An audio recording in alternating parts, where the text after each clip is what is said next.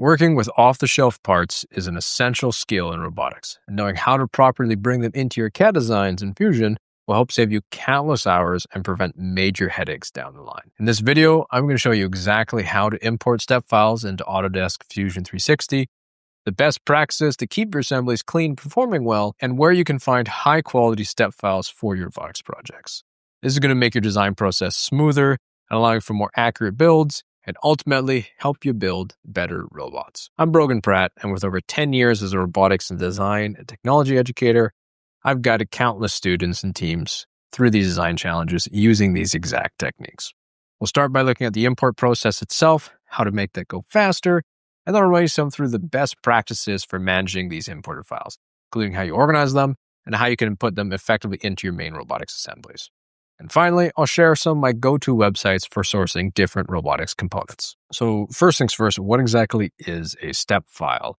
A step file, a .stp, .step uh, file, it's effectively a universal CAD file. You can kind of think of it like a PDF or a, a .docx, except for 3D models. Now, that's a little bit different from an STL, and STL is more like a 3D model for a 3D printer, if you're familiar with 3D printers but a step file is for the actual 3D model design section. And what a step file allows you to do is allows different CAD programs to be able to manipulate and interact with that 3D model. Things like SolidWorks, Onshape, Fusion, Tinkercad, any of the bog standard CAD program will be able to accept a step file. Now, step files are really, really important when it comes to designing things for robotics because a lot of the time, the parts that you're going to be interacting with and a good portion of your robot is going to be a commercial off the shelf or a COTS part.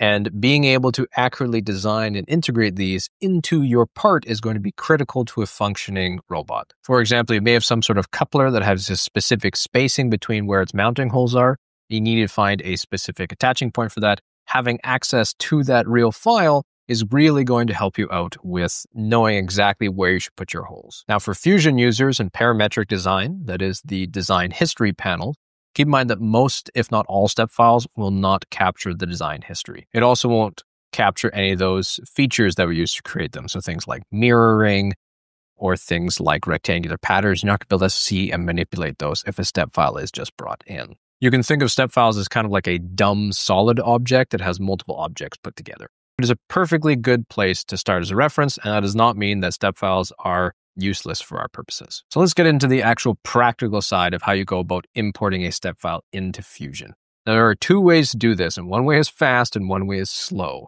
Uh, I'm going to start showing you the slow way. So I can come on up to our little waffle menu here and be able to show our data panel. Um, and make sure you are appropriately put these in a correct folder. For me, I've got a section here on FTC. And then I have a section on parts library. So I like to put these things in sections where it makes sense. You can come back and find these later. So I'm going to go inside Go Build it as a library. I can make a new folder called kits because we're going to be uploading a kit section of this today. And now, like I said, there's two ways to do this. Here's the slow way first. I'm going to select upload. Then I it's going to bring me to this menu here where I can select files from a computer. I can either drag and drop or for me, I already have a step file on my computer in my downloads. And oh, I need to extract this. So let's go ahead and extract this. Typically, when you download a zip file or a uh, step file, it shows up in some sort of zip folder. So I'm going to make sure that I go ahead and extract that because you cannot bring in a non uh, except, well non-extracted file. So I'll go ahead and open this. And this is a pretty large step file, it's 155 megabytes. So I'm going to go ahead and select upload. And now Fusion is going to do some backend processing. What it's going to do is going to upload it up into its cloud, uh, and it's going to take a really long time for this to actually upload properly. This is the slow way of going about this. Uh, reason being, I think we're already about 10 or 15 seconds before this actually even is uploaded, and it's still about halfway. It's probably going to hang in about three quarters. The faster way is instead to come out to your file menu, select open, and I'm also going to open from my computer and I'll select the exact same file. When I click open, accessing a local file of this, what it's going to do is rather than having to upload it up to Fusion's cloud servers first, it's instead going to open it, read it locally from my computer, And then it's going to, uh, once I save it, it will upload it up to Fusion's cloud servers rather than uploading it first and then having to pull it back from his cloud servers to be able to open it up. Uh, and I guarantee you that this is actually going to load faster here than it actually is the one that's uploaded. You can see that this one is still uploading. So while we wait for the slow version, let's take a look at this step file. And just keep in mind, there is no difference between selecting upload and then putting a step file in or selecting file open and then putting a step file in. It does the exact same thing on your computer, but one of them is far faster than the other. And I prefer that open from computer as opposed to that upload because it's still uploading. Now, one key thing to note here is you should always keep those step files that you uploaded as individual components. You should not directly put it into your robot design because that's really going to start slowing things down. You should always put in linked components. It's going to make things much faster, especially if they are things like an optical sensor or a distance sensor, what have you. You want those changes to propagate across all designs. So let's take a look at this design specifically from goBILDA. This is a linear, I'm going to go ahead and close out this data panel. This is a linear actuator kit and everything's just put into steel here. So if you want to get accurate weights, especially for step file, you're going to have to make sure you go ahead and change all of the materials uh, using that appearance tool. Because right now, everything is going to be steel and satin. Now, the first thing we want to do when we pull in a step file is we want to turn off capture design history. So I'm actually going to right click on this point here.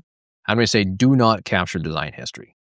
Reason being, if you notice down on our on our, our timeline, there were seven million piece imports. Uh, and as we make any changes to the step file, we actually don't want these things to be propagating into that design history because it's not really important at this moment. We want to optimize this file a little bit.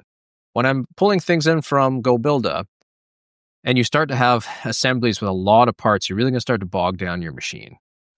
So what I like to do is I like to go ahead and find any sort of hardware because hardware that have real threads on them, not just modeled threads, really slow down your machine. So you can actually go ahead and right click and delete any of those hardware, provided that you know where you're actually going to be mounted these pieces with. This is my preference for doing it just because it really helps to speed up your designs as you're bringing in these step files. And for the most part, all of these hardware uh, is usually pretty well pretty well organized. So I'm going to go ahead and I'm going to delete all of this hardware it's just going to make things go a lot faster on our import. And that's already moving in the right track. So because this is one that I opened rather than uploaded, I'm going to go ahead and save this file. I'm going to go ahead and call this one the linear actuator kit. Now with Fusion, I don't like using underscores like you would in Python for naming things because it's really going to mess with your search feature. Uh, make sure you save it to the correct place. We'll go ahead and save it. Now, I bet you that the local, ah, there we go. We finally have that regular assembly that's actually managed to upload itself. So now that I've saved, you notice it's actually going to go ahead and upload itself up to the cloud. Now, keep in mind, if you are going to turn on the parametric modeling mode, it is going to slow things down a little bit because direct modeling tends to be a little bit faster. So if you're not going to make any changes to the design, it's likely a good idea to keep that off. Now, one thing you may find useful to do inside of your part here is to reorientate your object back to the origin point. Now you notice that on Fusion, our part is actually kind of floating away from that linear origin point. This is a good time to go ahead and move your component so that it's closer to your actual origin point. So I'm going to go ahead and select everything, select M on my keyboard to move it, and I'm going to move my object closer to my origin point here. I'm also going to go ahead and rotate it up because for the most part, my linear actuator is almost always going to be vertical so I'm going to go ahead and move this around so that it gets us closer to my origin point.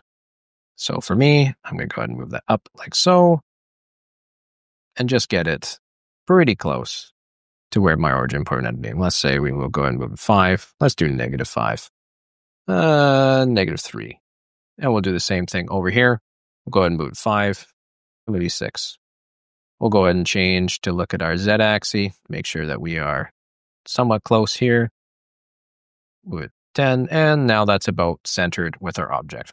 We do this because when we go to import this into other designs, it's going to make it a lot easier so that it imports everything in our that origin section. Now, before we go ahead and move this into another design, it's a good point now that we've gone ahead and constrained that origin point to decide which point is going to be grounded. Uh, for me, it's going to be this main kind of section bar here. This is our main ground. So I'm going to right click this one. I'm going to ground this to parent. It means whenever this piece moves, everything else is going to move along with it.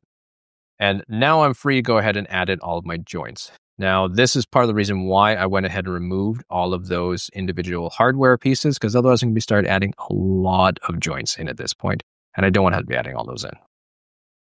So at this point, I'm going to go ahead and right click, and we're going to capture design history again. This will allow us to put in as-built joints. And as-built joints are really important here because for the most part, as these parts are built and assembled together, this is how we're going to go ahead and throw them. So I'm going to go ahead and select assemble. I'm going to say as built joint. So what I can do is I can select one component, select another component, and these two are rigid. They're never going to separate from one another. I'm going to go ahead and do another as-built joint or Shift J. I can select my first component and my second component so that those two never move. And then I'm going to Shift J. I'm going to move this component here to my main component. So as I add these joints in, they show up under the relationship tab, and I can go ahead and just keep adding these joints in as I go down. I can go ahead and add in my Revolute joints. And what that allows it to do is it allows me so that when I move this whole piece around, it stays together. But if you're never going to be editing any of these things, what you could do is you could technically select the entire thing and you could say make it a rigid group. And now the entire component will be constrained. And you're never going to be able to move any of those. Well, not never, but you won't be able to move any of those pieces apart from one another. So if you really just wanted to throw something in and slap it around, uh, making the entire component a rigid joint is really going to help. What that stopped you from doing is when you go to bring this into another design, you go to move some individual component inside that piece, it's going to start from being able to separate it from the entire design. Last thing we're going to do is just to check to make sure that everything looks like it did import appropriately. Sometimes step files do have some things that are non uh, that didn't import correctly. Some geometries are a little bit messed up. It dep- again, it depends on who it is that actually designed that step file for you. Now, once you've got your part in, like that linear actuator kit, I've got a base uh, mechanism wheel chassis here for a robot. And this is where I'm going to want to uh, import or link my design into. Uh, this really helps speed up assemblies in Fusion. If you are going to be direct modeling each individual piece in, you really start to bog things down. So what I can do is I can actually right click on the linear actuator kit, select insert into current design. And what it does is it inserts a link into my section. So then I can go ahead and manipulate this as I so choose and move it and put it in a place where I'm thinking I'm roughly going to be placing it inside of mine. Now, this is just going to be super rough for now. And I think I might go ahead and just place it close enough in this kind of axis point like so. And yeah, that's exactly how I'm going to end up mounting that for now. I'll go and select OK. Now I've got my design put in. Now you notice that there's this little link, kind of like a hyperlink section. And that means that if I were to pull that part or make any changes to that part, it's going to propagate over to this design here, uh, which is super helpful.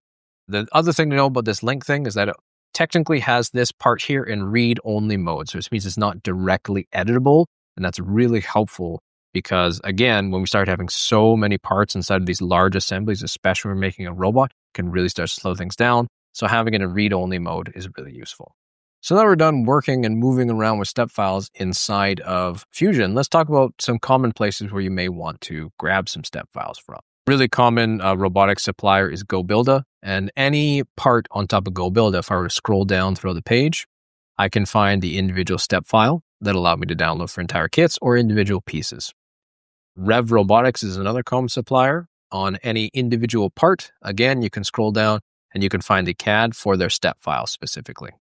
Uh, AndyMark also has individual files for everything.